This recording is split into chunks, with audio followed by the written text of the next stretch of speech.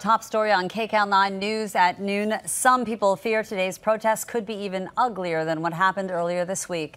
That's when dozens of people blocked the roadway and prevented busloads of immigrants from getting to the processing center. KCAL 9's Cara Finstrom is live in Murrieta. She's been there all day where protesters have already gathered in anticipation of more arrivals. Cara.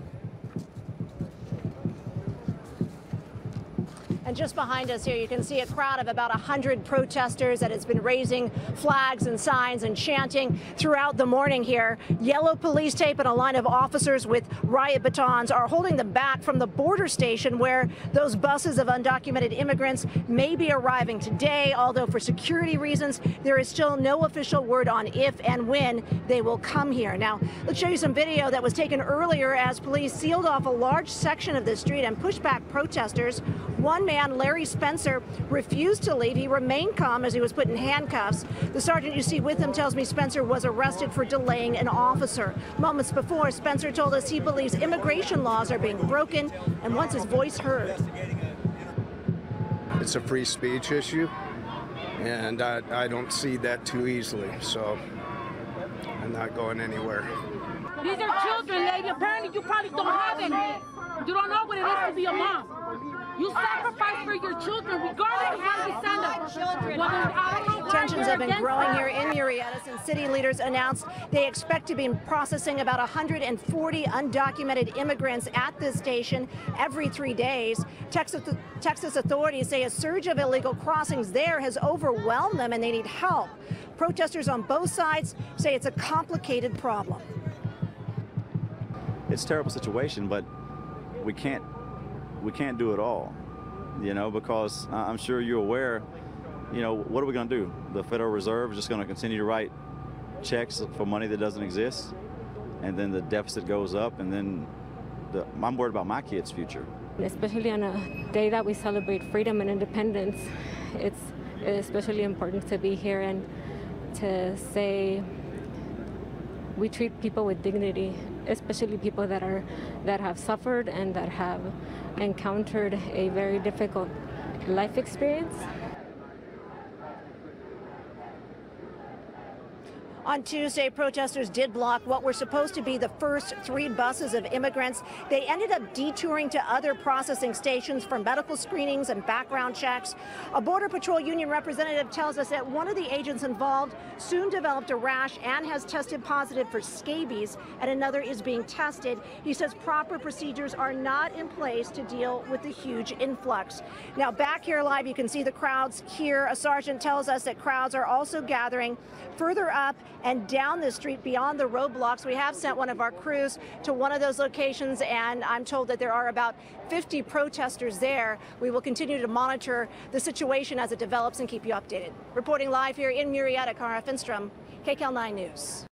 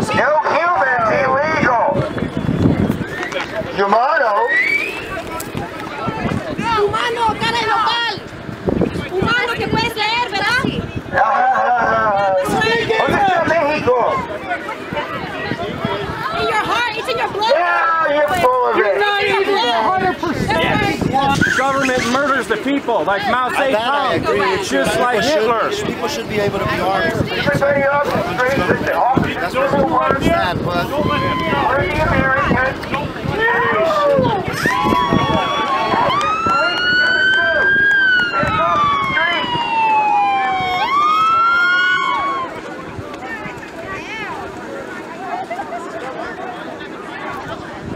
Do not put your hands on our police officers. Everybody get off the road, please. Let the officers do their job.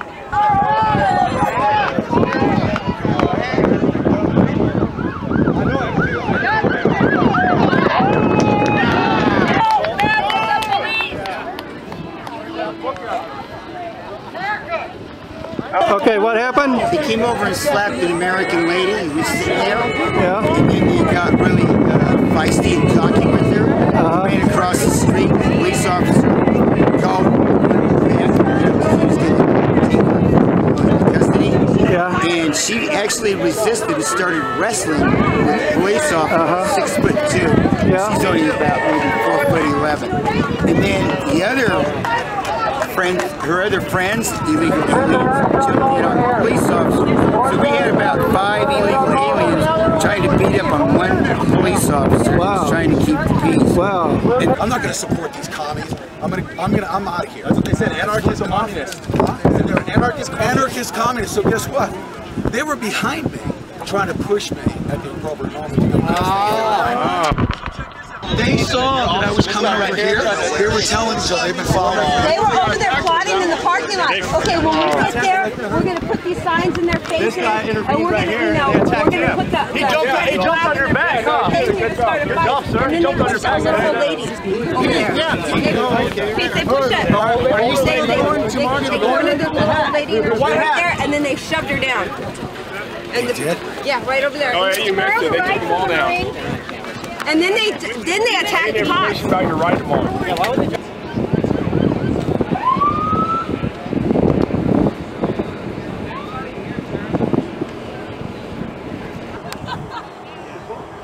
People just got violently arrested, and you want to know why I threw up American flag? Seriously.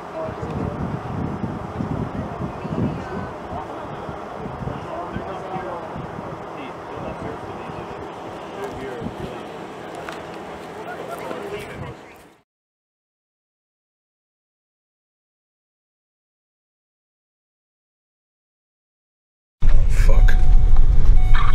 Fuck is right. Fuck is right. We got trouble here. Hey. We got trouble? Oh, Yeah, we got trouble. Let's find out what's going on. So a load of police. Let's go. We got a whole bunch of police here. We got a whole bunch of police here.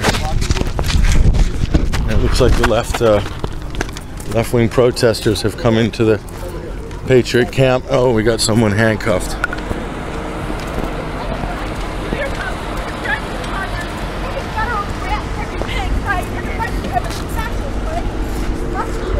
There's a left-wing protester who's been arrested. She's handcuffed. She's calling them fascist pigs. This is Occupy. Occupy protesters. Let's go find out what happened. Wow. She is really fired up. Hey, what happened? I missed it. It's the same problem child that was on that side that we got kicked out. Was, was she, then- she a left-wing and she protester? She is, but the other guy's an idiot that's in that car. He's the guy with the, the earrings that What- we got out of the other side. Have the police talked to him yet? Yeah, he's arrested. So were they trying to, to start a fight? Were they trying to start a fight over here? Were they trying to start a fight over here with you guys? I wasn't part of it. I don't know. I'm right here.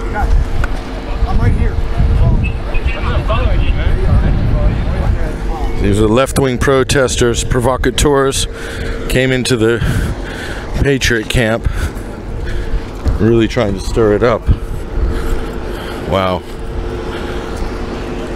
Murrieta Police done a pretty good job here of dealing with it.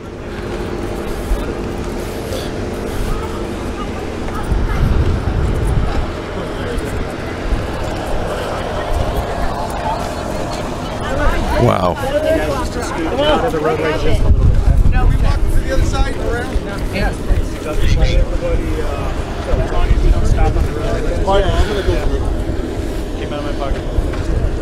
Sorry, sorry, sorry. Hey, all right, man. Are, are they are they like occupying protesters or something? Yeah. They're uh, pro illegal alien. If they've been shipped in from the outside, are they no, not from this community? Or are they from outside of uh, Outside Murrieta, LA. LA? Yeah. And so they, did, I see two got arrested. Were they trying to start a fight with with the Yeah, they, with the peaceful they protesters? they- I heard that they got into a fight with uh, Hispanic police officer that's down there. Oh, with with a police officer. Right. Wow. He had two police officer had two people on him. So we've got we've got the local police have got them under watch here. They're anarchists. Yeah, they're anarchists. I saw them calling the police fascist pigs. I heard that at the Occupy rally. Interesting.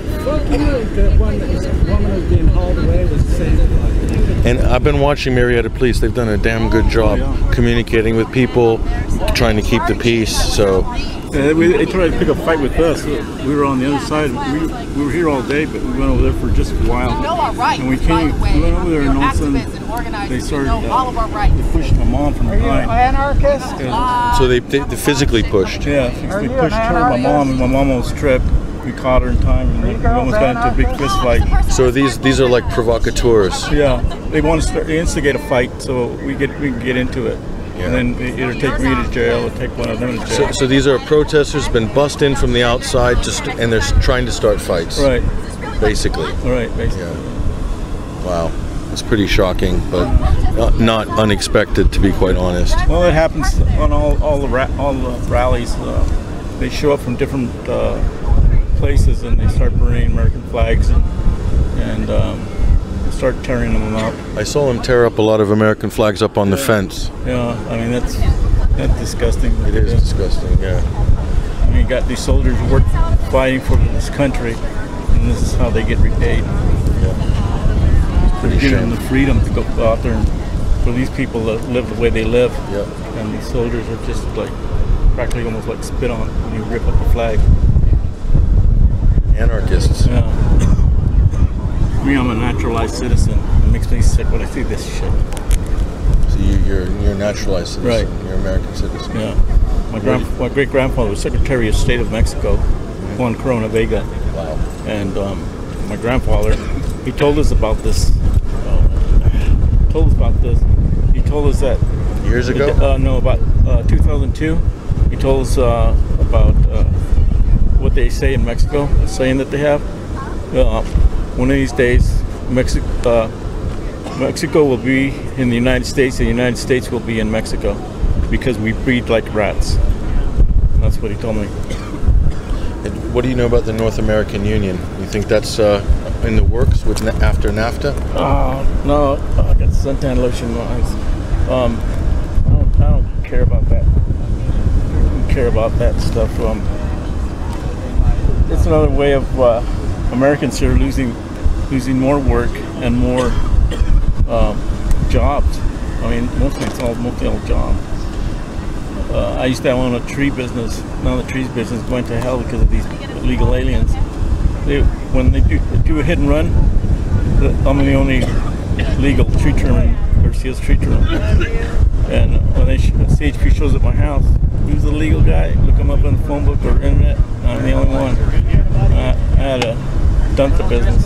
You a minute man? Yeah.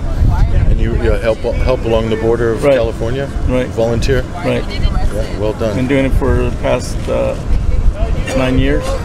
Yep. With my entire family. So you, you know, but you know what goes on on the border, don't Yeah. you? Yeah. Yeah. Uh, we have uh, family members that are politicians in Mexico, uh, Mexico Federal District and uh, other parts of Mexico, and like that. They've told us before that so, um, Andrew Tahmooressi, he's being charged and he should have been let go a long time ago. But they're still uh, they're keeping him host- keeping him there as hostage as a prisoner. Bargaining chip. Yeah, bargaining chip. It's it's disgusting the it doesn't have to do nothing with the president uh, of Mexico. It, it's just the uh, the governor of Tijuana. That's where it lies, not with the federal. Federals are all all mouth. Like my uncle said, They were supposed to, uh, the uh, Mexican police was supposed to let him go by back to the border. Federal police shows up and they want to arrest and make a big thing out of it. Like a trophy. Yeah, like a trophy. Yeah. I mean, the police, if you go down to Tijuana and you look in the bars, what do you see? Mexican police inside the park because they work together. You know, that's that's the way it works down there. So Andrew Tahmooressi shouldn't really be in uh, Tecate prison. Right, shouldn't even be in there. It's these these people here hate them, hate Americans. They hate even in Mexico they hate Americans too. Oh, more cars. Thank you very much. You're welcome. Let me give you my card so you know.